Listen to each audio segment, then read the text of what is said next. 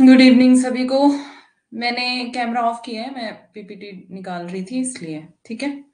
तो परेशान मत होना।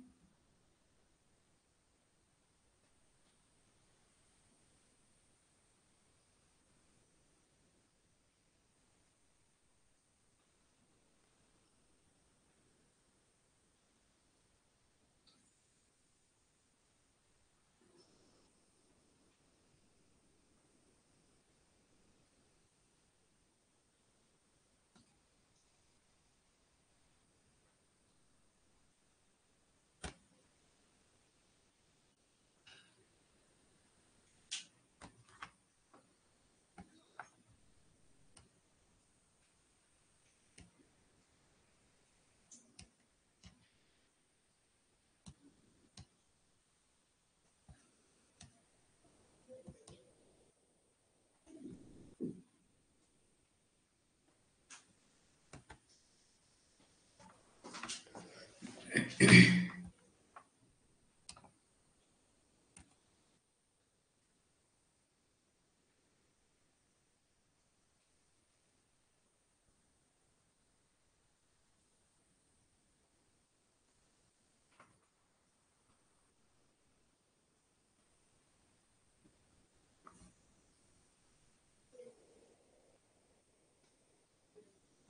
good evening good evening नमस्ते सबको नमस्ते गुड इवनिंग कैसे हैं सभी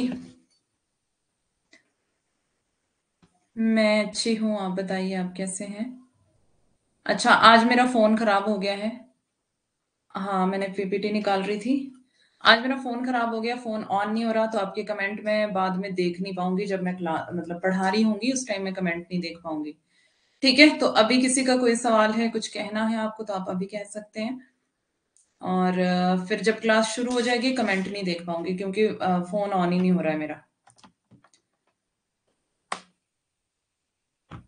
फिर कमेंट देखने के लिए नहीं तो मुझे बैक आना पड़ेगा फिर से। ठीक है? तो किसी को कुछ कहना है, आप अभी कह सकते हैं, फिर हम क्लास स्टार्ट करेंगे, है ना? ठीक है सभी? ओके और मंडे टेस्ट के लिए आप तैयार हैं? मंडे को आपका टेस्ट है ना?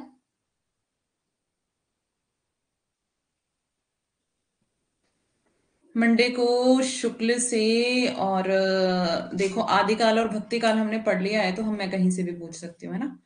Good evening Shalini yes okay good तो तैयारी रखनी अपनी पीवाई क्यूज एमसीक्यूज दोनों, है ना? ओके गुड जितना हमने पढ़ लिया, मैंने कुछ क्वेश्चंस बना दिए हैं शुक्ल से और कुछ मैं अभी यहाँ वहाँ से भी बनाऊँगी, मत सोचना कि शुक्ल से ही बनाऊँगी, है ना? तो आप पीवाई क्यूज को भी देख लेना एक बार। मतलब शुरू शुरू के देख लेना। अठारह उन्नीस के देखना ज़्यादा, बहुत ज़्यादा पीछे भी मत जाना। अठारह उन्नीस के पीवाई क्यूज देख लेना और पूछूँगी आदिकाल और भक्ति काल बस। इसके अलावा कुछ नहीं पूछूँगी, ठीक है? तो उसके लिए आप अपने आप को तैयार करें। कल का दिन आपके पास है, जिसने अभी तक तैयारी नहीं की है, कल तैयारी कर लेना। और अगर कोई, किसी का कोई सवाल है तो आप अभी बताइए, फिर हम क्लास शुरू करेंगे, फिर मैं आपके कमेंट देख नहीं पाऊँगी बिकॉज़ फ़ोन मेरा खराब हो चुका है, मैं आपको बता दिया है है ना?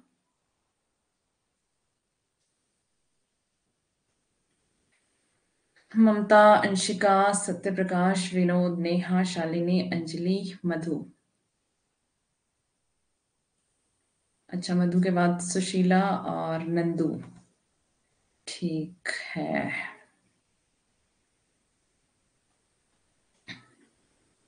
ठीक है, चलें स्टार्ट करें फिर आज के सेशन को।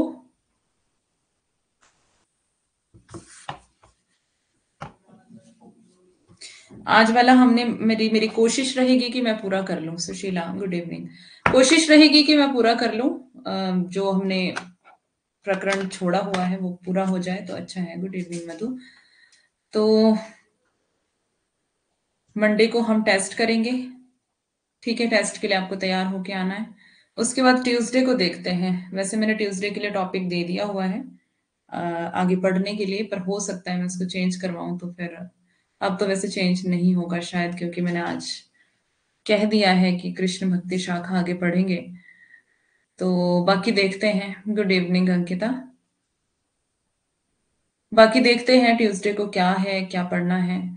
पर मंडे को हमारा टेस्ट है, बस वो आपको ध्यान रखना है ना। तो फिर अब हम चलते हैं। अब मैं आपकी बिल्कुल भी कमेंट नहीं देख पाऊँगी। अगर मुझे कमेंट देखने होंगे मैं बैक आना पड़ेगा। तो अभी आप पढ़ना, ठीक है, आराम से। चले थम्स अप दे दें एक बार। स्टार्ट करें।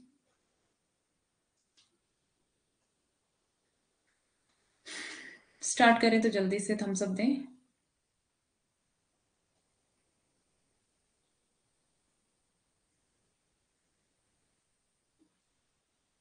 ओके ओके गुड तो वैसे मैं इसको मिनिमाइज करके भी आपके कमेंट देख सकती हूँ। पर फिर मज़ा नहीं आएगा पढ़ने का। ओके कोई बात नहीं कमेंट तो बाद में भी देखे जा सकते हैं ना। यहाँ से ही पढ़ना है ना हमने? बुक भी निकाल लेते हैं साथ में। आपके पास भी बुक है तो निकाल लो कॉपी पेन निकाल लो अपना, और, जो नोट करने वाली चीज़ें होंगी उसको आपको नोट भी करना है।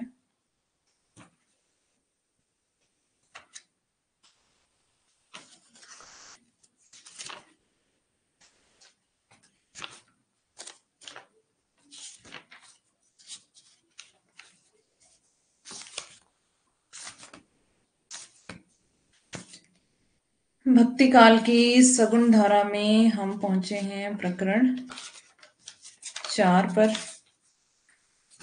और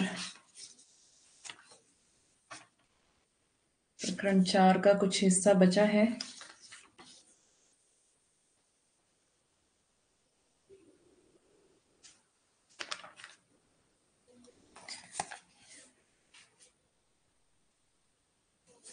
हम्म तो चलते हैं।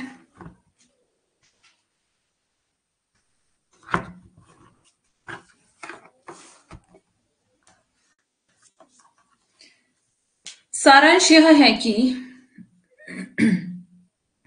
हिंदी काव्य की सब प्रकार की रचना शैली के ऊपर गोस्वामी जी ने अपना ऊँचा शासन प्रतिष्ठित किया। मतलब जो हमने कल शैलियाँ देखी थी पाँच प्रकार की तो पाँचों के पाँचों इनके अंदर क्वालिटीज थी, देखी थी हमने। और दोनों लैंग्वेजेस ब्रज और अवधि, है ना? और ब्रज और अवधि दोनों इनको आती थी। तो यहाँ पर बता रहे हैं, पूरा सारांश बता रहे हैं सारी बातों का, कि हिंदी काव्य की सब प्रकार की रचना शैली के ऊपर गोस्वामी जी ने अपना ऊँचा शासन प्रतिष्ठित किया है। यह उच्चता और किसी को प्राप्त नहीं है। क्या बता रहे हैं? कि यह उच्चता और किसी को प्राप्त नहीं है, सिर्फ़ गोस्वामी तुलसीदास को ही प्राप्त है ये। अब हम गोस्वामी जी के वर्णित विषय के विस्तार का विचार करेंगे। यह विचार करेंगे कि मानव जीवन की कितनी अधिक दशाओं का सन्निवेश उनकी कविता के भीतर है। इस संबंध में हम यह पहले ही कह देना चाहते हैं कि अपने दृष्टि विस्तार के कारण ही तुलसीदास जी उत्तरी भारत की समग्र जनता के हृदय मंदिर में पूर्ण प्रेम प्रतिष्ठा के साथ विराज रहे। ये वाली पंक्ति मैंने देखी है पेपर में। इसको आपको नोट करना है। इस आ, हम ये पहले ही कह देना चाहते हैं कि यहाँ से अपने दृष्टि विस्तार के कारण ही तुलसीदास जी उत्तरी भारत की समग्र जनता के हृदय मंदिर में पूर्ण प्रतिष्ठा के साथ विराज रहे। हो सकता है तुलसीदास का नाम वहाँ ना दे। तो आपको ध्यान देना है कि तुलसीदास के लिए कहा है और हो सकता है तुलसीदास का नाम दे और पूछ ले कि किसकी पंक्ति है। तो आपको वहाँ पर शुक्ल का नाम याद रखना है। उसके बाद भारतीय जनता का प्रतिनिधि कवि यदि किसी को कह सकते हैं तो इन्हीं महानुभाव को। तो ये भी शुक्ल के अनुसार भारतीय जनता का प्रतिनिधि कवि कौन है? तुलसीदास। इसको भी आपको इंपॉर्टेंट में नोट करना है। आगे चलते हैं। और कवि जीवन का कोई एक पक्ष लेकर चले हैं, और कवि मतलब और कवि, बाकी कवि, है ना? और कवि का मतलब कि यहाँ पर जो बाकी, इनके अलावा, है ना? तो बाकी कवि जो है, जीवन का कोई एक पक्ष लेकर चले हैं, जैसे एक किसी ने वीर काल के ऊपर लिख दिया, किसी ने उत्साह कर लिया, किसी ने भक्ति काल के ऊपर लिख दिया, है ना? किसी ने प्रेम पर लिख दिया, किसी ने ज्ञान पर लिख दिया, किसी ने अलंकार पर लिख दिया, और किसी ने कवि दाम्पत्य प्रणय, श्रृंगार को लिख दिया। तो क्या बता रहे हैं कि और कवि जीवन का कोई एक पक्ष लेकर चले हैं, जैसे वीर काल के कवि उत्साह को है ना? जो वीर काल में लिख रहे थे, वो उत्साह कर रहे थे राजा को राजा को कि राजा जो है और ज़्यादा युद्ध में पावरफुल हो। भक्ति काल के जो दूसरे कवि हैं, वो प्रेम और ज्ञान को लेकर चले थे। आपको पता है, सूफी कवि प्रेम को लेकर और जो निर्गुण कवि है जो संत कवि है, वो ज्ञान को लेकर चले थे। दोनों ही निर्गुण है वैसे। तो एक सूफी जो प्रेम को लेकर चले थे और एक ज्ञान को लेकर चले थे, यानी कि संत और सूफी। अलंकार काल के कवि, अलंकार काल आपको पता है किसको कहते हैं? रीति काल को। ठीक है? तो यहाँ पर अलंकार काल के कवि कह रहे हैं कि वो दाम्पत्य जीवन को लेकर चले थे और प्रणय, यानी कि जो प्रेम है और श्रृंगार है, उसको लेकर चले थे दाम्पत्य जीवन को लेकर। पर उनकी वाणी की पहुँच मनुष्य के सारे भावों और व्यवहारों तक है। पर इनकी वाणी किसके लिए कह रहे हैं? इनकी वाणी। मतलब कि जो ये तुलसीदास के लिए कह रहे हैं, बाकी कवियों, बाकी सभी को ले लिया इन्होंने। संत कवि सूफी कवि, है ना, सगुण निर्गुण दोनों धारा के कवियों को ले लिया इन्होंने और मतलब हर एक कवि को ले लिया कि वो सिर्फ़ एक ही पक्ष को लेकर चले हैं जीवन के। पर इन्होंने क्या किया? इनकी वाणी की पहुँच मनुष्य के सारे व्यवहारों और सारे भावों तक है। मतलब हर, इन्होंने जीवन का हर एक क्षेत्र ले लिया। इन्होंने बाकियों की तरह सिर्फ़ एक हिस्सा नहीं लिया। मतलब यहाँ पर भी ये तुलसीदास की प्रशंसा में कह रहे हैं। आगे है, एक और तो वह व्यक्तिगत साधना के मार्ग में विराग पूर्ण शुद्ध भगवत भक्ति का उपदेश करती है। दूसरी शोर दूसरी शोर लिखा है, दूसरी ओर लोक पक्ष में आकर पारिवारिक और सामाजिक कर्तव्यों का सौंदर्य दिखाकर मुग्ध करती है। व्यक्तिगत साधना के साथ ही साथ लोक धर्म की अत्यंत उज्जवल छटा उसमें वर्तमान है। तो ये सब कुछ किसकी प्रशंसा में? तुलसीदास की। पहले कहा जा चुका है कि निर्गुण धारा के संतों की वाणी में किस प्रकार लोक धर्म की अवहेलना छिपी हुई थी? निर्गुण धारा के संतों की वाणी में क्या छिपी हुई थी लोक धर्म की अवहेलना? सगुण धारा की भारतीय पद्धति के भक्तों में कबीर, दादू आदि के लोक धर्म विरोधी स्वरूप को यदि किसी ने पहचाना तो गोस्वामी जी ने पहचाना। उन्होंने देखा कि उनके वचनों से जनता की चित्तवृत्ति में ऐसे घोर विकार की आशंका है जिससे समाज विश्रृंखल हो गया है। तो ये बता रहे हैं कि जो कबीर, दादू जितने भी सगुण निर्गुण जो कवि थे, उनके प्रचार करने से या उनके कविता करने से या उनके लिखने से क्या हो रहा था? जनता में भेदभाव चल रहा था। ऐसा कह रहे हैं कि लोक धर्म विरोधी थे क्योंकि ये शुक्ल पहले भी कहते हैं, है ना, कि ये हिंदू धर्म विरोधी थे सारे। क्योंकि मूर्ति पूजा का खंडन करते थे, है ना। तो यहाँ पे बता रहे हैं कि इन्होंने क्या किया? इन्होंने पहचाना इस स्वरूप को। कि ये लोक धर्म स्वरूप को इन्होंने ही पहचाना है और उन्होंने क्या पहचाना क्या देखा इन्होंने कि ज, उनके वचनों से जनता की चित्तवृत्ति में ऐसे घोर विकार की आशंका है। मतलब कि जो वो वचन कह रहे हैं वो कवि तो जनता की चित्तवृत्ति में क्या हो रहा है? विकार आ रहे हैं बुराइयाँ आ रही हैं आशंका है। मतलब कि हो सकता है ऐसा हो, आने, होने की संभावना है, आशंका है ऐसे। जिससे समाज विश्रृंखल हो जाए समाज जो है वो विखंडित हो जाए, इस तरह से वो कह रहे हैं, उसकी मर्यादा नष्ट हो जाएगी। तो मतलब ये भी क्या कर रहे थे हिंदू धर्म को बढ़ावा दे करके ये बात कह रहे हैं, है ना? तो मतलब कि बोलने की बात कहने का मतलब ये है कि जितने भी संत कवि हुए हैं, उन्होंने क्या किया? मूर्ति पूजा का खंडन किया। लेकिन इन्होंने ऐसा, क्योंकि ये सगुण थे तो इन्होंने तो मूर्ति पूजा का खंडन नहीं किया। तो इन्होंने देखा कि जो जितने भी सिद्ध हैं, नाथ हैं, वो सभी तो यही उपदेश दे रहे हैं मूर्ति पूजा का खंडन, और जितने भी संत कवि हैं, वो भी यही उपदेश दे रहे हैं, है ना? और ये आडम्ब बाह्य आडम्बरों को व्यर्थ ठहरा रहे हैं, तीर्थाटन को व्यर्थ ठहरा रहे हैं। तो इससे क्या हो सकता है? समाज का नुकसान हो सकता है। समाज जो है वो विखंडित हो सकता है, खंडित हो सकता है, टूट सकता है अलग अलग टुकड़ों में बढ़ सकता है है ना? तो क्या होगा? समाज की मर्यादा नष्ट हो जाएगी। जिस समाज से ज्ञान संपन्न शास्त्रज्ञ विद्वानों अन्याय और अत्याचार के दमन से, दमन में तत्पर वीरों पारिवारिक कर्तव्यों का पालन करने वाले उच्चाशय व्यक्तियों, पति परायणा सतियों, पितृभक्ति के कारण अपना सर्व सुख सर्वस्व त्यागने वाले सत्पुरुषों, स्वामी की सेवा में मर मिटने वाले सच्चे सेवकों प्रजा का पुत्रवत पालन करने वाले शासकों आदि के प्रति श्रद्धा और प्रेम का भाव उठ जाएगा। उसका कल्याण कदापि नहीं हो सकता है। तो मतलब ये सारी चीज़ें जो इन्होंने यहाँ पर बताई है, ये बोल रहे हैं कि जनता इससे दूर चली जाएगी, है ना? आगे है, गोस्वामी जी को निर्गुण पंथियों की वाणी में लोक धर्म की उपेक्षा का भाव स्पष्ट दिखाई पड़ा। तो निर्गुण पंथियों की वाणी में हम साफ़ साफ़ क्लियर क्लियर लिखा है, क्योंकि शुक्ल तो इनको साहित्य में स्थान भी नहीं देते हैं, है ना? निर्गुण जो पंथ के कवि हैं उनको। ये सूफियों को साहित्य में स्थान देते हैं। तो गोस्वामी जी को निर्गुण पंथियों के बानी में लोक धर्म की उपेक्षा का भाव स्पष्ट दिखाई देता है कि लोक धर्म की उपेक्षा हो रही है यहाँ पर। स्पष्ट दिखाई दे रहा है। साथ ही उन्होंने यह भी देखा कि बहुत से अनधिकारी और अशिक्षित वेदांत के कुछ चलते शब्दों को लेकर बिना उनका तात्पर्य समझे यो ही ज्ञानी बने हुए हैं। मतलब कि कुछ ऐसे हैं जिनको मतलब अशिक्षित हैं। अशिक्षित मतलब इनका साफ़ ही किसके ऊपर प्रहार है? कबीर के ऊपर प्रहार। बिल्कुल सरेआम जो है, स्पष्ट प्रभाव जो है कबीर के ऊपर है, क्योंकि कबीर ही अनपढ़ थे। और यहाँ पे बता रहे हैं कि अशिक्षित वेदांत मतलब कि उनको वेद, वेदों का ज्ञान नहीं है, उसमें कुछ ऐसे ऐसे शब्द दिए हुए हैं, जिनका ये क्या कर रहे हैं? इनको इनको अर्थ तो नहीं पता है उस, उन शब्दों का, पर ये ज्ञानी बने हुए हैं, है ना? और उन शब्दों को कुछ अलग ही तरीके से जनता को समझा रहे हैं, ये ऐसा कहना चाह रहे हैं। और आगे कहते हैं कि मूर्ख जनता को लौकिक कर्तव्य से विचलित करना चाहते हैं। तो जो, क्योंकि जनता तो मतलब जनता को मूर्ख कह रहे हैं कि जनता जो है उनकी बातों में आई हुई है और शुक्ल जी पहले ही कहते कि अनपढ़ जनता ही उनके पीछे थी, है ना?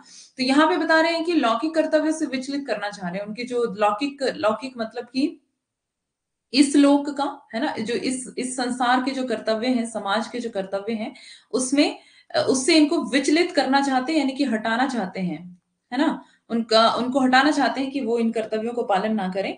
और मूर्खता मिश्रित अहंकार की वृद्धि कर रहे हैं। और मूर्खता से मिश्रित मतलब कि मूर्खता का मिश्रण जिसमें हो, उस अहंकार की वृद्धि, उस घमंड की इनमें बढ़ोतरी ये कर रहे हैं। इस दशा को लक्ष्य करके उन्होंने इस प्रकार के वचन कहे हैं। क्या वचन? श्रुति सम्मत हरि भक्ति पथ सजुत विरति विवेक। नहीं परि नहीं परि हरि हर ही विमोह बस कल्प ही पंथ अनेक। साखी शब्दी दोहरा, कही कहनी उपखान, भगति निरूप ही भगत कली, विनिंद ही वेद पुराण। तो यही बता रहे हैं कि साखी शब्दी दोहरा मतलब साखी शब्द साखी शब्द और दोहरा, दोहा किसने कहे हैं ये, साखी शब्द रमैनी? किसके हैं ये रचनाएँ? कबीर की है ना? तो मैं आपको बता रही थी कि कबीर पर ही सीधा सीधा प्रभाव है इनका प्रहार है इनका, है ना? कबीर पर प्रहार कर रहे हैं ये सीधा सीधा तो यहाँ बता रहे हैं, साखी शब्दी दोहरा, कही कहनी उपखान, भक्ति भक्ति निरूप ही भगत कली, निंद ही वेद पुराण। तो क्या कर रहे हैं ये? कि भक्ति की आड़ में क्या कर रहे हैं? वेदों पुराणों की निंदा कर रहे हैं ना? तो यही कबीर ही जो थे, जो वेदों पुराणों की निंदा करते थे। बाद ही शुद्र द्विजन सन, हम तुम तुम ते कछु घाटी। जाने ही ब्रह्मा सो विप्रवर, आंखी देखा वही डांटी। तो इन पंक्तियों को देखते हैं जरा, ये इंपॉर्टेंट है या नहीं? तो इन पंक्तियों को आपको लिख लेना है। तुलसी की पंक्तियाँ हैं ये। दो दो करके, है ना? ये और ये वाला तो ये वाली पूछी गई है पंक्ति। ठीक है? बाकी इसको भी देख लेना। तुलसी की है। तो तुलसी यही बात कह रहे हैं कि ये क्या करते हैं? वेदों पुराणों की निंदा करते हैं। आगे आगे चलते हैं।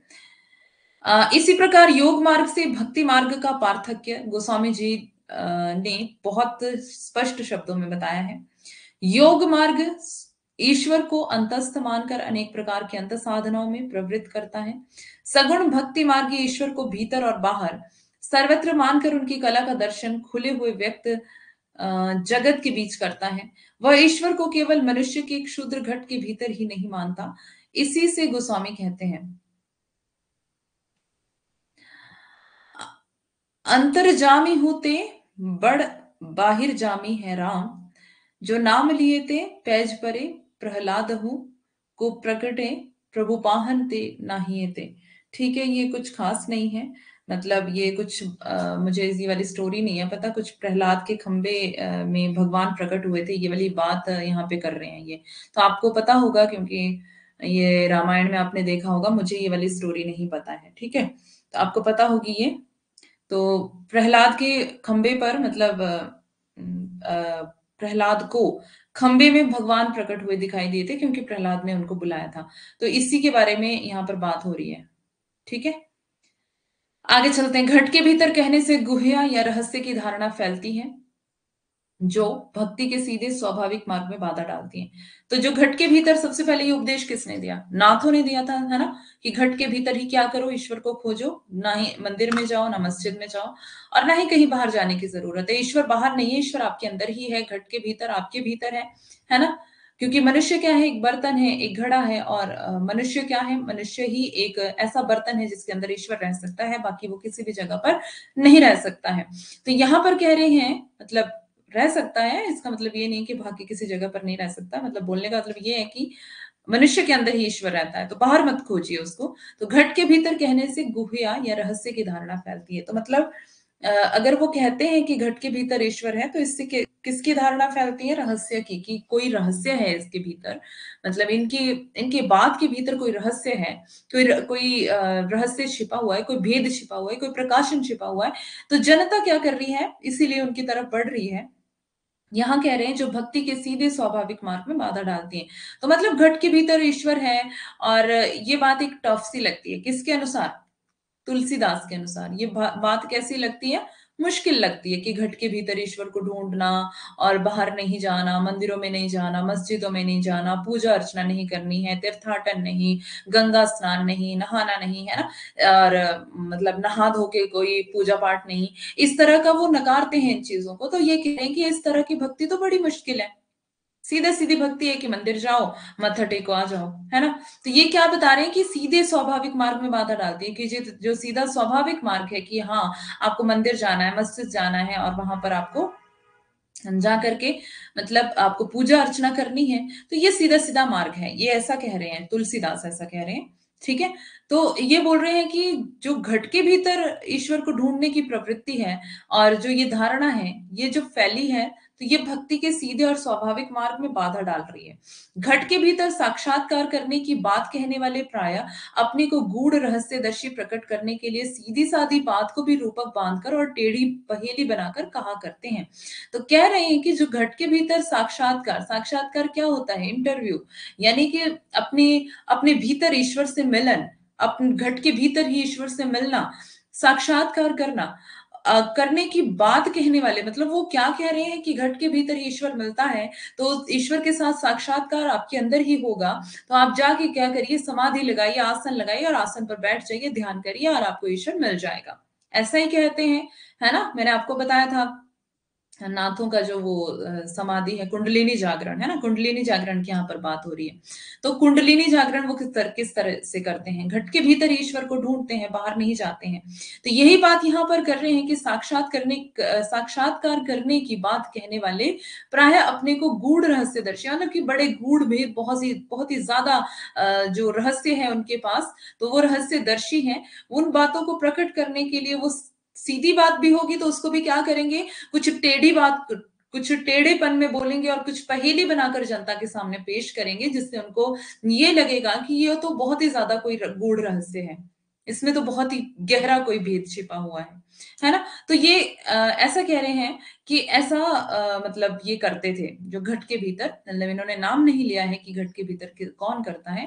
वैसे नाथों से ये परंपरा चली थी और नाथों से कबीर भी इसी में थे इसी में शामिल थे है ना? कबीर पे भी नाथों का ही प्रभाव था और इसके बाद जितने भी संत कवि हुए वो सब इसी लीग पर चले हैं ठीक है? तो यहाँ पर बात कर रहे हैं आगे कि ये सीधी बात को भी पहेली बनाकर कहेंगे, रूपक बाँध कर कहेंगे, ताकि जनता को और ज़्यादा लगे कि इनके पास तो बड़े गहरे भेद हैं। पर इस प्रकार की दुराव, छिपाव की प्रवृत्ति को गोस्वामी जी भक्ति का विरोधी मानते हैं। तो ये शुक्ल कह रहे हैं कि जो ये दुराव, छिपाव की प्रवृत्ति है, इसको गोस्वामी तुलसीदास क्या मान रहे हैं कि भक्ति के विरोधी हैं ये लोग? भक्ति भक्ति के रास्ते पर नहीं चल रही, विरोध कर रहे हैं भक्ति का। सरलता या सीधेपन को वे भक्ति का नित्य लक्षण कहते हैं। तो कह रहे हैं कि सरलता और सीधापन इन व्यक्ति के अंदर होना चाहिए। वही भक्ति का नित्य लक्षण है, वही भक्ति का अच्छा लक्षण है, जो कि हर दिन इंसान के अंदर होना चाहिए, सरलता और सीधापन। मन की सरलता, वचन की सरलता और कर्म की सरलता, तीनों। मन, वचन और कर्म। मन, वचन और कर्म कहते हैं, तीनों की सरलता को, तीनों को सूबे मन सूधे वचन सूदी सब करतुती तुलसी सूदी सकल विधि रघुवर प्रेम प्रसूति। तो यही बात कर रहे हैं कि सीधा मन सीधा वचन और सीधा कर्म होना चाहिए करतुती है ना? तो तुलसीदास ये आ, संदेश दे रहे हैं लोगों को वे भक्ति के मार्ग को ऐसा नहीं मानते जिसे लखे कोई बिरले। तो मतलब संत कवियों ने क्या उपदेश दिया कि लाखों में कोई बिरला ही जा सकता है? आप भी सत्संग में कभी गए होंगे तो लाखों में कोई बिरला बिरला मतलब कोई कोई एक दो, है ना? कोई एक दो ही जा सकता है। अब लाखों में कोई एक दो ही जा सकता है, बाकी? बाकी कहाँ है? बाकी संसार में। मैंने आपको बताया था ना, मर्यादा जीव, पुष्टि जीव, प्रवाह जीव, तीन प्रकार के जीव हमने कृष्ण भक्ति में देखे थे। तो कुछ ऐसे होते हैं जो प्रवाह में बह जाते हैं, प्रवाह जीव, संसार के प्रवाह में। है ना? संसार के प्रवाह में बह जाते हैं।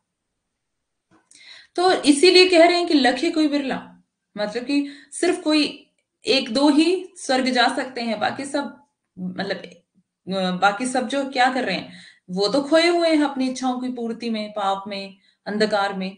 लेकिन कोई एक दो ही व्यक्ति है जो रियल में भक्ति कर रहे हैं, जो सच में ईश्वर की पूजा अर्चना कर रहे हैं। तो यही संदेश किसने दिया है? सबने दिया है, सभी संतों ने।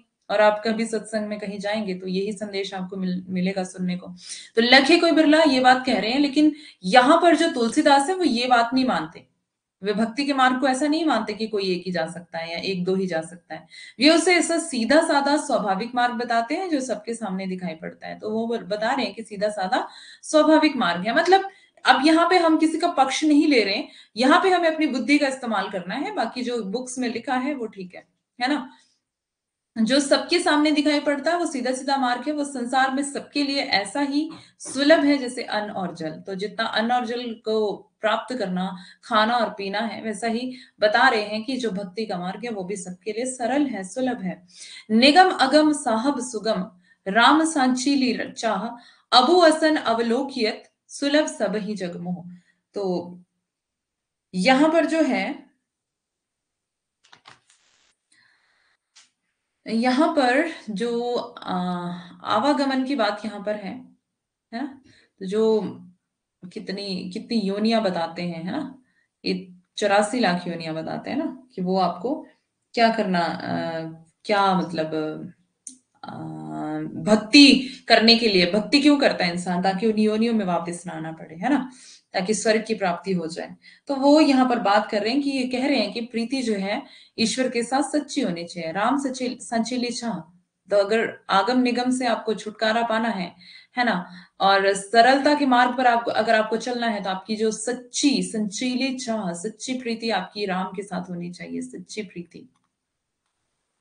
ठीक है? आगे है अब, ठीक है। इसको देख लेना। ये तुलसीदास का कथन है। अभिप्राय यह कि जिस हृदय से भक्ति की जाती है, वह सबके पास है। मतलब तुलसीदास क्या कहना चाहते हैं कि जो भक्ति वाला हृदय वो तो हर एक व्यक्ति के पास है। हृदय की जिस पद्धति से भक्ति की जाती है, वह भी वही है जिससे माता पिता की भक्ति, पुत्र, कलत्र का प्रेम किया जाता है। इसी से गोस्वामी जी चाहते हैं कि यही जग में जह, लागी यातन की प्रीति प्रतीति सगाई। सो, सब तुलसीदास प्रभु ही सो, हो सिमिटी इकठाई ठीक है तो ये कुछ खास नहीं है। आगे, नाथपंथी रमते जोगियों के प्रभाव से जनता अंधी भीड़ बनी हुई। तरह तरह की करामातों की साधुता का चिन्ह मानने लगी थी। तो यहाँ पे बता रहे हैं कि अब यहाँ पर नाथपंथियों की बात कर रहे हैं, ये शुक्ल बात कर रहे हैं नाथपंथियों की जब नाथपंथी क्या थे? रमते जोगी। रमते जोगियों के प्रभाव से मतलब नाथ नाथों को और सिद्धों की दोनों की बात कर रहे हैं तो नाथपंथी रमते जोगियों के प्रभाव से जनता कैसी थी? अंधी भीड़ बनी हुई थी। अंधी भीड़ कैसी होती है?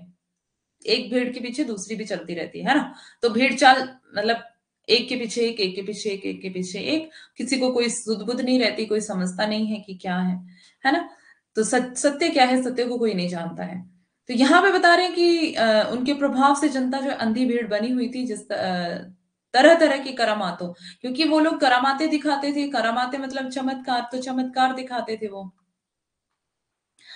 को साधुता का चिन्ह मानने लगी थी तो चमत्कारों को ही जनता क्या मान रही थी कि यही असली साधु है असली सज्जन है असली भक्त यही लोग हैं।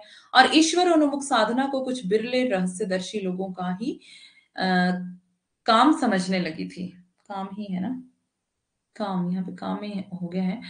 तो यहाँ पे बता रहे हैं कि ईश्वर उपा, ईश्वर उन्मुख साधना को, ईश्वर उन्मुख मतलब ईश्वर की ओर उन्मुख होती हुई साधना को कुछ बिरले रहस्यदर्शी लोगों का ही काम समझने लगी थी। मतलब जनता ऐसे सोच रही थी कि जो ईश्वर की उन्मुख साधना है मतलब ईश्वर की तरफ़ बढ़ने वाली जो साधना है, उसमें तो कोई लखे, कोई बिरला, वही वाला उपदेश कि कोई बिरला ही जा सकता है तो ये एक रहस्य है। तो जनता उसको यही समझने लगी थी कि ये तो एक एक बड़ा गूढ़ भेद है और ये बड़ा टफ मार्ग है और इसमें कोई एक दो ही जा सकता है। तो यहाँ पे यही बता रहे हैं कि जनता यही समझने लगी थी, इसलिए उनके पीछे पीछे कैसी अंधी भीड़ की तरह चल रही थी, ये शुक्ल का कथन है लोगों के लिए। जो हृदय सबके पास होता है, वही अपनी स्वाभाविक वृत्तियों द्वारा भगवान की ओर लगाया जा सकता है। तो जो हृदय सबके पास होता है, वही अपनी स्वाभाविक वृत्तियों द्वारा भगवान की ओर लगाया जा सकता है। ऐसा कोई अलग से स्पेशल हृदय मार्केट में नहीं मिलता जिससे भक्ति करी जाए। ठीक है? तो एक ही हृदय है जो सबके पास होता है है ना? कोई स्पेशल हृदय बिकता नहीं, खरीदा नहीं जाता है। उसी से भक्ति जिस, जो, जिसके अंदर भक्ति की भावना होगी, वो करेगा। जिसके अंदर नहीं होगी, वो नहीं करेगा। वही अपने स्वाभाविक स्वाभाविक है ये भक्ति, है ना? स्वाभाविक विकास। क्या क्या कहते हैं हजारी प्रसाद वेदी? कि भक्ति क्या है? स्वाभाविक विकास है। जनता मतलब अगर मुसलमान भी भारत नहीं आए होते तो भी जनता जनता जो है भक्ति की ओर अग्रसर होती, क्योंकि ये स्वाभाविक है। तो ये कौन कहते हैं? हजारी प्रसाद वेदी कहते हैं। लेकिन शुक्ल इसके विपरीत कहते हैं। वो कहते हैं कि मुसलमान भारत आए, इस कारण से जनता जो है बहुत ज़्यादा सताई जा रही थी तो उनके पास और कोई रास्ता नहीं था, इस कारण वो भक्ति की ओर अग्रसर हुए। तो हम पहुँच गए आदिकाल की सॉरी भक्ति काल का शुक्ल का ये पहला ही कथन है। शायद पहले प्रकरण में ही। तो ये कनेक्टेड है उस बात से, इसलिए यहाँ पे बोला है। तो ये कह रहे हैं कि जो हृदय सबके पास होता है, वही स्वाभाविक वृत्तियों द्वारा भगवान की ओर लगाया जा सकता है। इस बात पर पर्दा सा डाल दिया गया था। तो मतलब किसने डाला पर्दा? सिद्ध और नाथों ने। नाथों ने मतलब जनता को भी इतना अंधा कर दिया था कि जनता जो है वो समझ नहीं पा रही थी कि हमारे पास भी वो भक्ति वाला हृदय है। हम भी सीधी सीधी तरह से भक्ति कर सकते हैं, स्वाभाविक रीति से हम भक्ति कर सकते हैं। ऐसा नहीं है कि लखे कोई बिरला। कि कोई एक दो ही जा सकता है हम भी जा सकते हैं हमारे पास भी वो हृदय है। लेकिन जनता जनता के अं, अंदर जो है उनकी आँखों पर एक पट्टी सी बाँध दी गई एक पर्दा सा डाल दिया गया ताकि जनता समझ ही ना पाए। इससे हृदय रहते भी भक्ति का सच्चा स्वाभाविक मार्ग लोग नहीं देख पाते। तो हृदय तो था जनता के पास लेकिन भक्ति का सच्चा और स्वाभाविक मार्ग वो नहीं देख पा रहे थे। यह पहले कहा जा चुका है कि नाथ पंथ का हठयोग मार्ग हृदय पक्ष शून्य है। तो नाथ पंथ का हठयोग मार्ग हृदय पक्ष कैसा है? शून्य है। देखो ये ध्यान से पढ़ना तुलसीदास का तो सारा ही बहुत ध्यान से एक दो बार और पढ़ लेना क्योंकि हो सकता है असर्शन रीजन में भी यहाँ से क्वेश्चन आ जाते हैं और कई बार पैराग्राफ भी पूछ लिया जाता है आरसी में भी पूछ लिया जाता है ठीक है? तो ध्यान से। आगे है रागात्मिक वृत्ति से उसका कोई लगाव नहीं। रागात्मिक वृत्ति जिसमें राग अनुराग प्रेम लगाव हो ईश्वर के प्रति उसका कोई लगाव नहीं आ, कोई लगाव नहीं था उस भक्ति से इनका। आ, ये हठयोग में ही विश्वास करते थे है ना? कि मतलब अपने आप को दुख देना, सता, सताना मतलब इस तरह से कठिन तरीके से भक्ति करना। अतः रमते जोगियों की रहस्य भरी बानियाँ बानिया होगा। बानिया सुनते सुनते जनता के हृदय में भक्ति की सच्ची भावना दब गई थी। तो यही रमते जोगी थे जो रहस्य भरी बानिया सुना रहे थे जनता को। तो जनता सुनते सुनते क्या हो रही थी? हृदय, जनता के हृदय में भक्ति की जो सच्ची भावना थी वो दब गई थी। ठीक है? खत्म नहीं हुई थी। अगर आपको पूछ लिया जाए, यही कथन, और यहाँ पे पूछ लिया जाए, दब दब दब गई की जगह आपको पूछ लिया जाए कि जनता के अंदर से हृदय जनता के हृदय में भक्ति की सच्ची भावना जो है वो खत्म हो गई थी, नष्ट हो गई थी। तो वो कथन बिल्कुल गलत होगा, है ना? एक एक शब्द का ध्यान रखना पड़ेगा, आपको दब गई, खत्म हो गई, इन दोनों में भी देखो कितना डिफरेंस है। एक इतना सा शब्द है ये, और शुक्ल से ऐसे सवाल पूछे जाते हैं बहुत ज़्यादा। तो ध्यान देना है आपको कि जनता के अंदर से भावना जो है वो दबी थी, भक्ति भावना दबी थी, खत्म नहीं हुई थी, पूरी तरह से नष्ट नहीं हुई थी, उठने ही नहीं पाती थी। लोग की इस इसी दशा को लक्ष्य करके गोस्वामी जी को कहना पड़ा कि गोरख जगाया जो, भगती भगाया लोग। अब क्या बोल रहे हैं ये? शुक्ल जी क्या कह रहे हैं कि जो ये जनता के अंदर जो भावना दब गई थी भक्ति की तो गोस्वामी तुलसीदास को क्या कहना पड़ा इस बात को लक्ष्य करके? गोरख जगाया जो, भगति भगाया लोग। क्या मतलब इसका? ये वाली पंक्ति का पूछा गई है पूछी गई है ये पंक्ति। इसका मतलब क्या है? कि गोरख ने, गोरख यानी कि गोरखनाथ ने ऐसा जोग जगाया कि लोगों के अंदर से भक्ति जो है वो भाग गई। भक्ति भगाया लोग। लोगों ने भक्ति को दूर कर दिया। भक्ति उनके अंदर से, उनके हृदय से दूर चली गई, है ना? तो ये गोरख गोरख जगाया जो भक्ति भगाया लोग। किसकी पंक्ति है?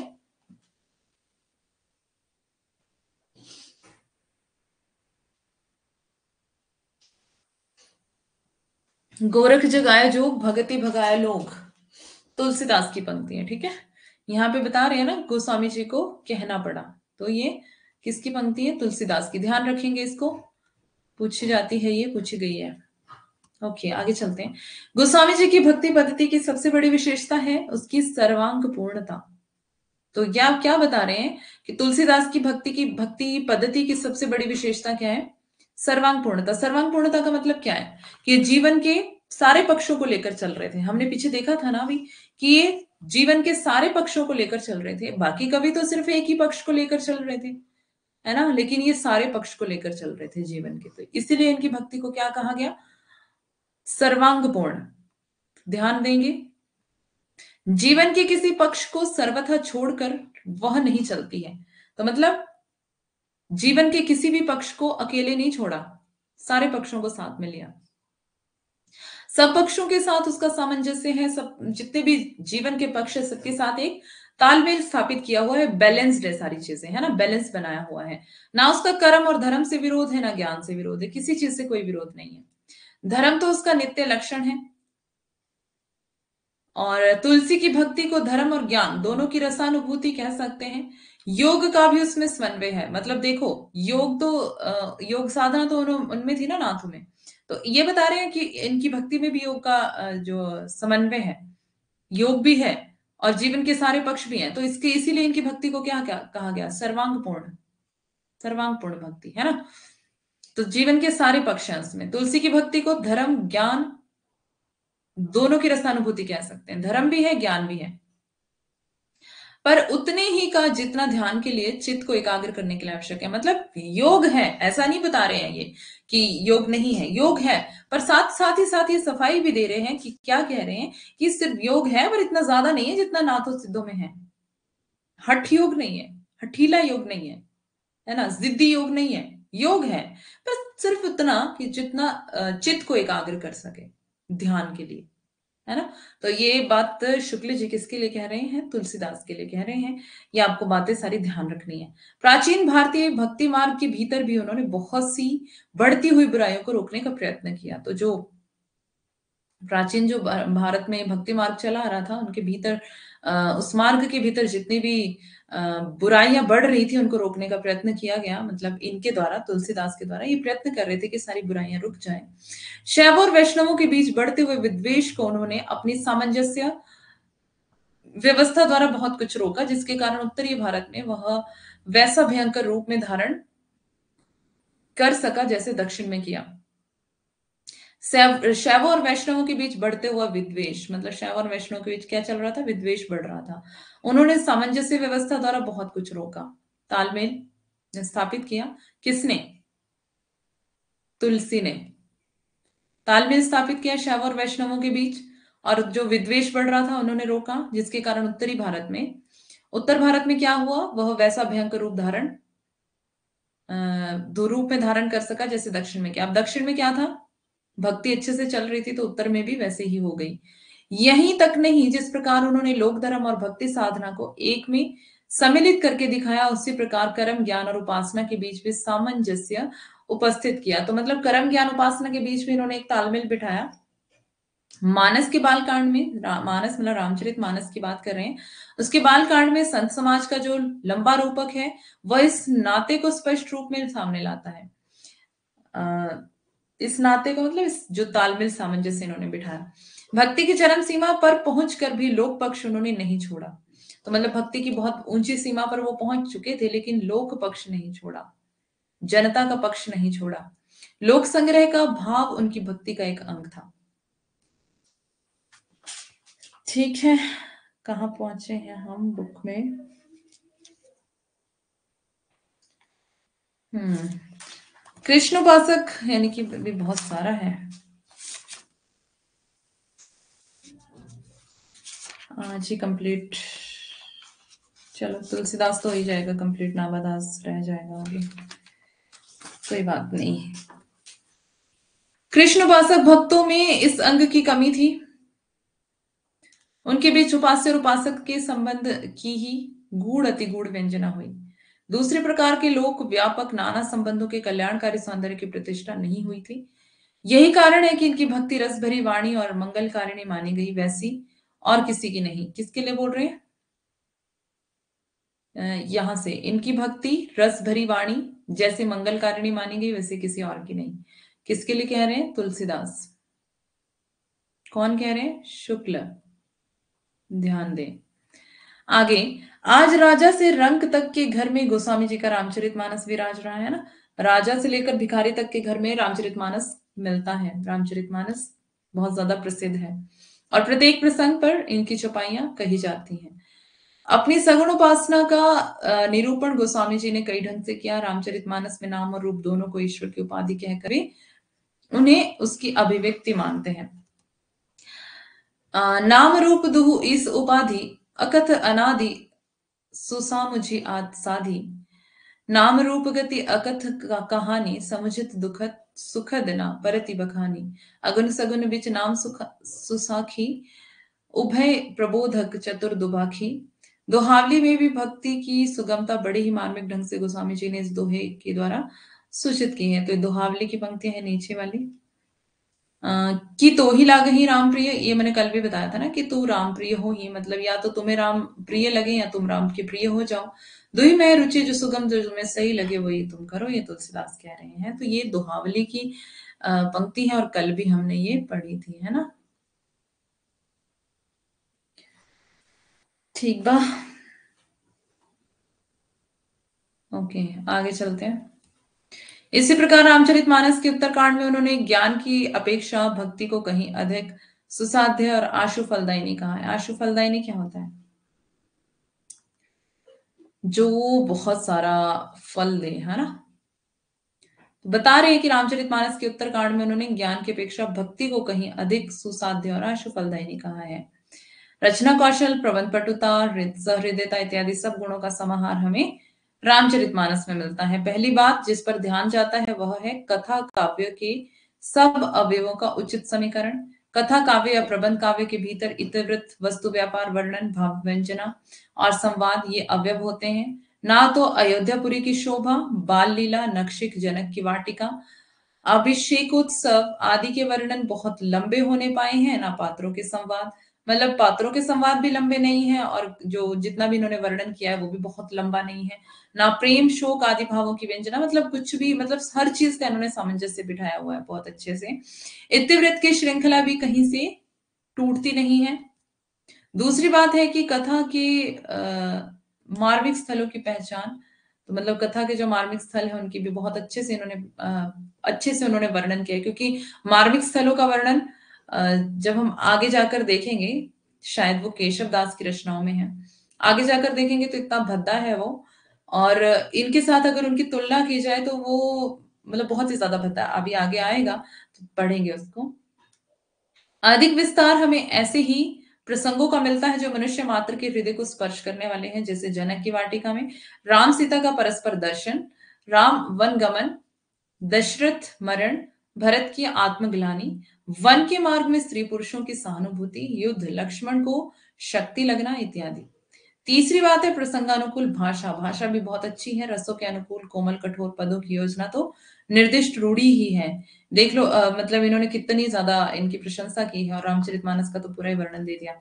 उसके अतिरिक्त गोस्वामी जी ने इस बात का भी ध्यान रखा है कि किस स्थल पर विद्वानों या शिक्षितों की संस्कृत मिश्रित भाषा रखनी चाहिए और किस स्थल पर ठेठ बोली। तो मतलब इन्होंने भाषा का भी बहुत ध्यान रखा है कि कहाँ पर संस्कृत आएगी, कहाँ पर शिक्षितों की भाषा, कहाँ पर ठेठ बोली, ठेठ अवधि आएगी। घरेलू प्रसंग समझकर केकई और मंथरा के संवाद में उन्होंने ठेठ बोली क्योंकि वो थोड़ी मतलब बुज़ुर्ग और कम पढ़ी या फिर अनपढ़ स्त्रियाँ हैं तो वो ठेठ में बोलेंगी, है ना? स्त्रियों में विशेष चलते प्रयोगों को व्यवहार किया है। अनुप्रास की और प्रवृत्ति तो सब रचनाओं में स्पष्ट लक्षित होती है। चौथी बात है श्रृंगार रस का श्रेष्ठ मर्यादा के भीतर बहुत ही व्यंजक वर्णन। मतलब श्रृंगार रस है, लेकिन मर्यादा में रहकर, है ना? आउट ऑफ़ मर्यादा नहीं है। तो क्या आगे चलते हैं? जिस धूमधाम से मानस की प्रस्तावना चली उसे देखते ही ग्रंथ के महत्व का आभास मिल जाता है। उससे साफ़ झलकता है कि तुलसीदास जी अपने ही एक दृष्टि रखने वाले भक्त ना थे। संसार को भी दृष्टि फैलाकर देखने वाले भक्त थे। मतलब ऐसा नहीं था कि सिर्फ़ अपने आप को ही देखते थे, वो संसार को भी बहुत ही अच्छे गहराई से देखते थे। जिस व्यक्त जगत के बीच उन्होंने, उन्हें भगवान के राम रूप की कला का दर्शन कराना था, पहले चारों ओर दृष्टि दौड़ाकर उसके अनेक रूपात्मक स्वरूप को उन्होंने सामने रखा। फिर उसके भले बुरे पक्षों की विषमता देख दिखाकर अपने मन को का यह कहकर समाधान किया। सुधा सुरा सम साधु जनक एक जल जग, जल दी अगाधु इंपॉर्टेंट पंक्ति है। और किसकी है ये? जिस तरह दुनिया में अमृत और जहर एक साथ है है ना? दोनों का रचयिता एक ही है। उस तरह से जो है, बता रहे हैं कि भले और बुरे पक्ष दोनों ही होते हैं मतलब। ये कहने का इनका मतलब है कि दोनों सुधा और सुरा, सुधा होता है अमृत। अमृत और सुरा होता है विष। दोनों ही, दोनों का रचयिता एक ही है है ना? दोनों एक साथ है। तो उसी तरह से क्या होता है? भले बुरे भले बुरे पक्ष तो रहते ही हैं।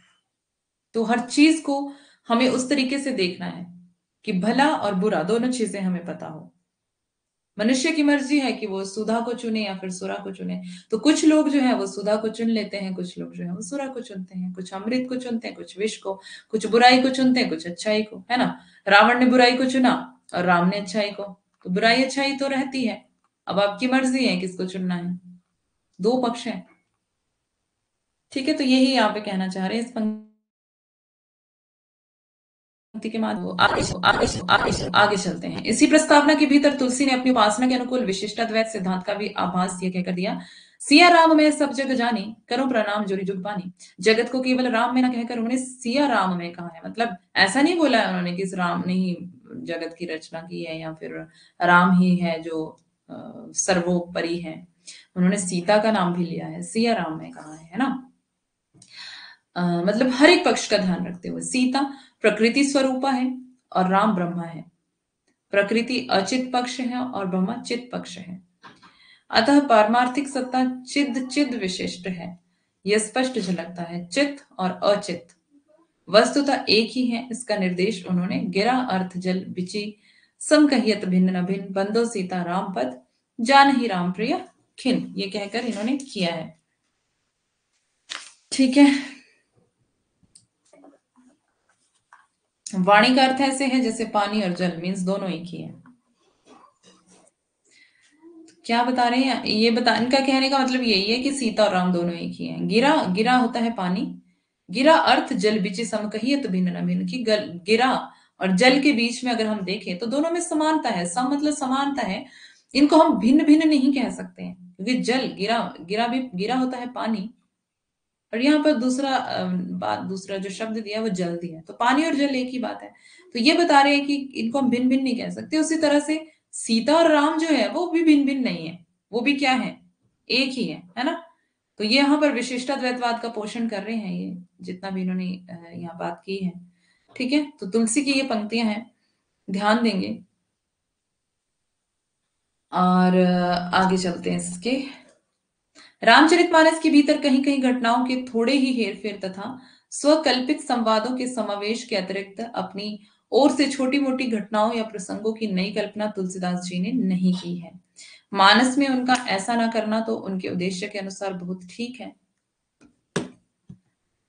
राम के प्रमाणिक चरित्र द्वारा वे जीवन भर बना रहने वाला प्रभाव उत्पन्न करना चाहते थे। और काव्यों के समान केवल अल्पस्थायी रसानुभूति मात्र नहीं यह प्रसंग तो केवल तुलसीदास द्वारा कल्पित है। यह धारणा उन प्रसंगों का को कोई स्थायी भाव श्रोताओं या पाठकों पर ना जमने देती। पर गीतावली तो प्रबंध काव्य ना थी। तो आगे देखते हैं। उसमें तो सूर के अनुकरण पर गीतावली की बात चल रही है यहाँ पर। सूर के अनुकरण पर वस्तु, व्यापार, वर्णन का बहुत विस्तार है। उसके भीतर छोटे मोटे नूतन प्रसंगों की उद्भावना को पूरा अवकाश था।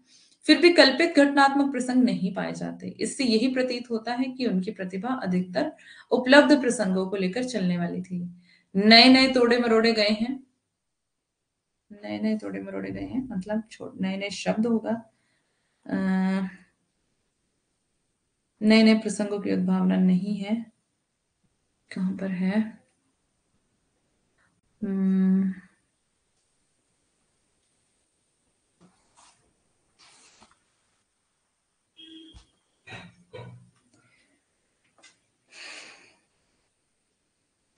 क्या है?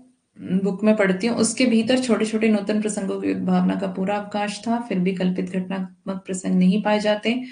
इससे यही प्रतीत होता है कि उनकी प्रतिभा अधिकतर उपलब्ध प्रसंगों को लेकर चलने वाली थी। नए नए प्रसंगों की उद्भावना करने वाली नहीं। नए नए प्रसंगों को लेकर चल नए नए प्रसंगों की उद्भावना करने वाली नहीं।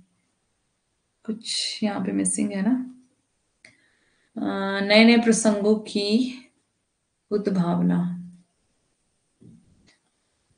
उद्भावना करने वाली नहीं। ठीक है? आगे है। उनकी कल्पना वस्तु स्थिति को ज्यो के त्यों लेकर उसके मार्मिक रूप स्वरूपों के उद्घाटन में प्रवृत्त होती थी। अच्छा यहाँ पर कुछ कुछ कुछ कुछ मुझे मिसिंग लग रहा है। चलो देखते हैं। अगर ये वाली पंक्ति यहाँ पे नहीं हुई तो मैं लिख दूँगी ना। पर गोस्वामी जी की वाक्य रचना अत्यंत प्रौढ़ और सुव्यवस्थित है। एक भी शब्द फालतू नहीं है। खेद है कि भाषा की सफ़ाई सफ़ाई पीछे होने वाले बहुत कम कवियों में रह गई। पीछे मतलब इनके बाद। सब रसों के समित व्यंजना इन्होंने की है, पर मर्यादा को उल्लंघन इन्होंने कहीं पे भी नहीं किया है। मर्यादा को बहुत लोगों ने उल्लंघन किया बट इन्होंने नहीं किया। प्रेम और श्रृंगार का ऐसा वर्णन जो बिना किसी लज्जा और संकोच के सबके सामने पढ़ा जा सके, है ना? रामचरित मानस सबके सामने देख सकते हैं आप रामायण। तो ये बता रहे हैं कि सबके सामने पढ़ा जा सकता आप अपनी फैमिली के साथ बैठकर देख सकते हैं। ये गोस्वामी जी का ही है।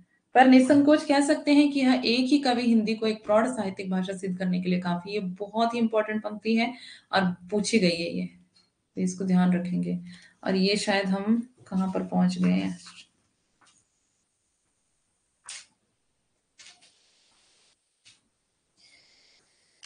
कुछ कुछ चीज़ें इसमें मिसिंग रह गई है ना, जो बुक में है और इसमें नहीं है।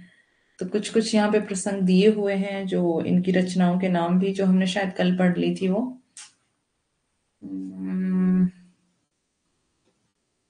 ओके हो सकता आगे हो। देखो एक बार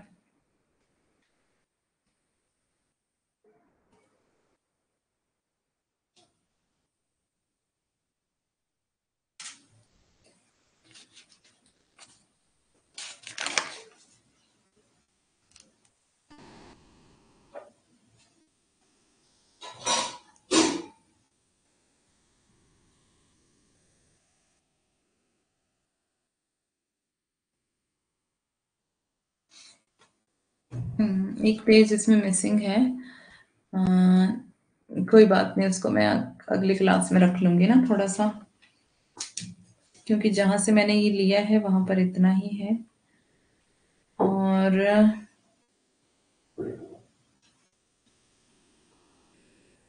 अब्दुल रहीम खान खाना वाला भी नहीं आया इसमें अभी। ओके जो रह गया है ना उसको मैं अगली क्लास में कर दूँगी। आप बंद करें क्लास को। बताएँ मुझे अग्रदास को पढ़ना है। अभी हम, मैं आती हूँ आपके पास, जरा देखते हैं क्या कह रहे हैं आप। अच्छा आपने बोला था कल मुझे याद दिला देना 102 page number. Okay good good याद आ गया था वैसे मुझे thank you very much good evening Poonam और अनुसुईया। अच्छा आप लोगों ने तब से लेकर कुछ कहा ही नहीं है। अरे वाह, बड़े शरीफ बच्चे हैं। भूख लग गई माय गॉड खाना बन गया है क्या जो भूख लग गई है? हम्म मेरे लिए भी भेजना, मुझे भी लगी भूख। और बोल तो मैं रही थी इतनी देर से, भूख तो मुझे लगनी चाहिए। हैं? बैठने वालों को भी भूख लगती है क्या? ओके तो कल टेस्ट है, परसों मतलब कल नहीं। मंडे को मैम टेस्ट के साथ पढ़ाई भी करेंगे। अच्छा ओके। टेस्ट के साथ पढ़ाई भी करेंगे। तो हाँ टेस्ट के साथ पढ़ाई भी हो ही जाएगी। ओ सब कुछ सब कुछ नीचे खाना चाहिए। अभी तो भूख लग रही है मुझे भी। अब भूख का नाम ले लिया तो और लग रही है। अच्छा पढ़ाई का ये है कि वही उसी से उसी से रिलेटेड बताती चलूँगी। बाकी कुछ अलग से देखते हैं। कितना टाइम बचता है। क्या बताऊँ मैं? Thank you very much, ma'am. Nice class. Okay, most welcome. Uh, today, nice class, ma'am. Thank you. Uh, okay, most welcome, Madhu Satya Prakash क्या बताऊँ मैं और पार्सल भेज दूँगी okay okay okay thank you thank you very much ठीक है weekend को enjoy कीजिए और कल पढ़ लेना ठीक है परसों मिलेंगे टेस्ट के साथ यूट्यूब क्लास में पढ़ाई का देखते हैं साथ साथ में क्या होता है thanks ma'am Vinod Kumar okay most welcome ठीक है, अब हम चलते हैं. गुड नाइट सबको. बाय मैम मंडे को टेस्ट के साथ पढ़ाई भी करेंगे क्या? और ये पढ़ाई नहीं करेंगे. मतलब अगर होगा टाइम बचेगा. अब एक घंटे में हम क्या ही कर लेंगे, है ना? तो मोस्ट वेलकम मोस्ट वेलकम सभी को, रविंद्र. क्वेश्चंस करूँगी, करवाऊँगी. उससे रिलेटेड कुछ कुछ बता दूँगी आपको, आपके काम का. ठीक है? बाकी पढ़ाई का एक घंटे में कहाँ ही टाइम मिलता है? आपको पता है यूट्यूब पे तो प्रचार भी करना पड़ता है थोड़ा, है ना? दस पंद्रह मिनट उसी में निकल जाते हैं। तो देखते हैं फिर, जैसे भी बनता है। एक्स्ट्रा टाइम ले लेंगे। हम्म यहाँ तो एक्स्ट्रा टाइम लेने नहीं देती हूँ। हम्म हाँ चलो देखते हैं। एक्स्ट्रा टाइम वहाँ यूट्यूब पे ले सकते हैं हम आराम से। यहाँ पे आपकी क्लास होती है तो इस वजह से। चलिए फिर मिलते हैं मंडे को। बाय बाय टेक केयर सभी अपना ख्याल रखना। मिलेंगे मंडे को यूट्यूब पर। Bye good night